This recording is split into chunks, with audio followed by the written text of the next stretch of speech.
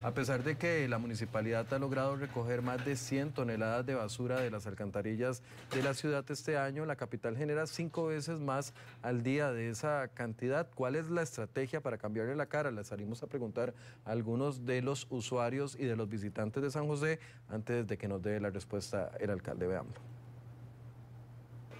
Doña Agustina camina por San José diariamente y en esta época, además de cuidarse de la lluvia, debe evitar caerse con basura.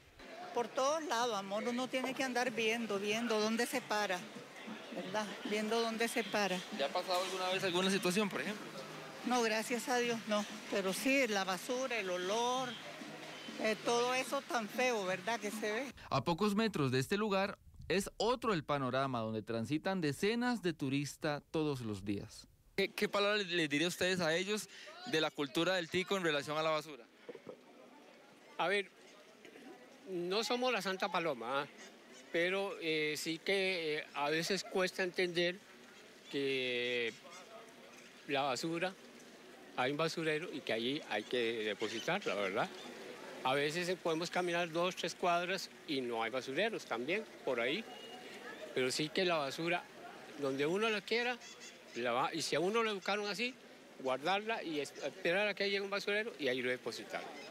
La municipalidad de San José logró sacar solo de las alcantarillas más de 100 toneladas de basura lo equivalente al peso de una ballena azul de 27 metros de largo, pero al día la capital produce cinco veces más que esto. Los sistemas de alcantarillado empiezan a perder eh, vigencia, ya se vuelven obsoletos, puesto que fueron diseñados para un tipo de caudal y ahora es mucho mayor al crecer las ciudades. Eh, todo esto todo esto suma para que estos eventos ocurran cada vez con muchísimo mayor frecuencia. Demasiada suciedad, las bolsas abiertas, los indigentes sacando todo eso, es indecente, indecente. Muchos olores mal, orines, demasiado.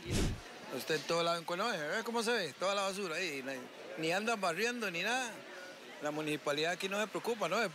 Los tacos que hay con el agua y de todo. ¿Por qué?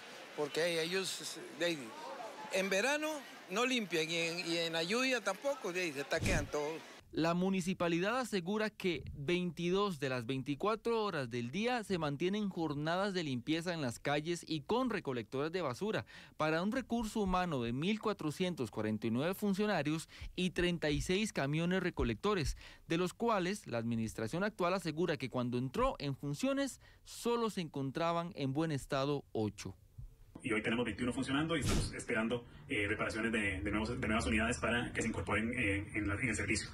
El costo anual es de aproximadamente 13.900 millones de colones, eh, lo que implica un costo mensual de unos 1.900 millones que se dividen en las dos modalidades. A más de 10 kilómetros de distancia de San José, Doña Zulay, vecina de la Carpio, nos muestra que la entrada del relleno sanitario inaugurado hace 24 años está adornada con más basura muchas, muchas enfermedades. En este momento estamos igual con la hepatitis, igual con el dengue, igual con el Zika, igual con cualquier enfermedad de contaminación.